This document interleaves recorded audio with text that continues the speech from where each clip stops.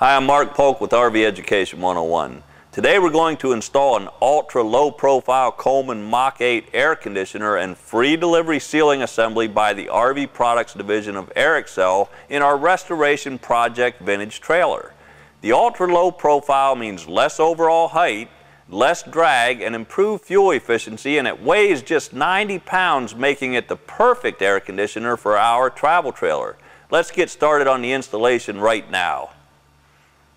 Carefully follow all instructions and warnings in the installation manual to avoid damage to equipment, personal injury, or fire. This equipment should only be installed by trained and qualified personnel.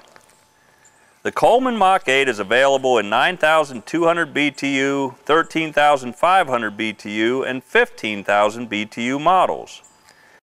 Make sure the AC unit you choose is sized properly for the application. We are installing the Mach 8 at an existing roof vent location. This location already has 120 volt wiring, is close to the center of the trailer, and we have checked all clearances. If you removed an existing roof vent for the installation, remove all screws and carefully remove any caulking material. After following all preparation instructions, carefully lift the unit to the top of the vehicle. Do not use the outer plastic shroud for lifting. Place the rooftop air conditioner over the prepared mounting hole.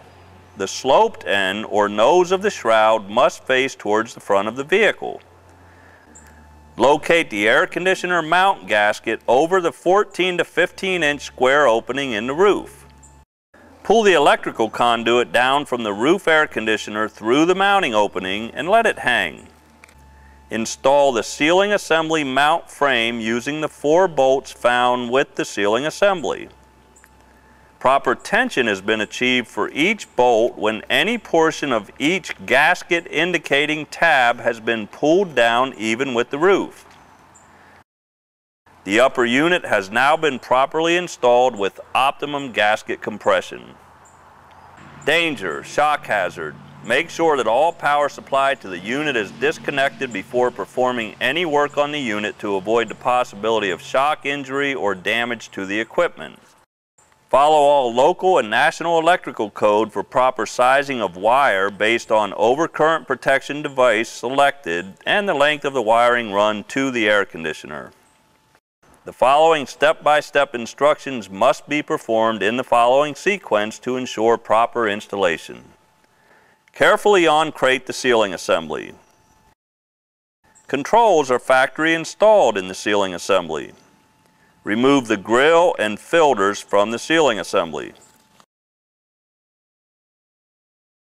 Fasten the duct collar to the base pan of the air conditioner with the three screws provided.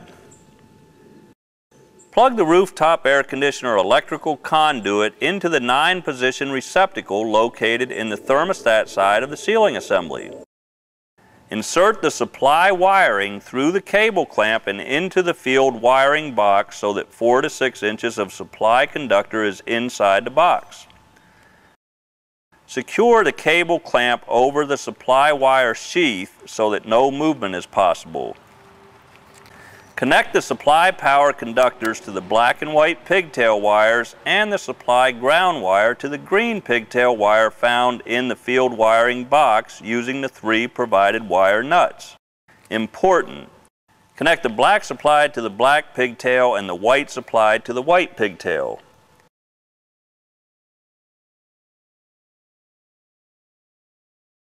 Using a UL approved electrical tape, secure the wire nuts to wires in a workmanlike manner. Place the metal control box shield over the thermostat switch and field wiring boxes. Make certain that all wires are pushed into the control boxes or laying in the wire way between the thermostat and switch boxes and will not be pinched by the control box shield. Raise the ceiling assembly and secure to the mounting frame with four provided shoulder screw spring assemblies. The front two screws should pass through the clearance holes in the metal control box shield. Pull the fabric duct material through the ceiling assembly discharge opening. Peel the release liner from the adhesive strip around the discharge opening. Press the fabric duct material firmly in place around the opening. Cut off excess fabric on inside of ceiling assembly chute with the box knife, taking care not to tear the fabric beyond the adhesive strip. Make sure the non-allergenic filters are properly positioned in the ceiling grill. Install the ceiling grill by positioning on the bottom of the shroud and engaging the two quarter turn fasteners. Turn the selector switch to the off position. Turn on the power supply to the rooftop air conditioner. System checkout. Airxcel Incorporated manufactures a wide range of rooftop air conditioners which incorporate different product operation features.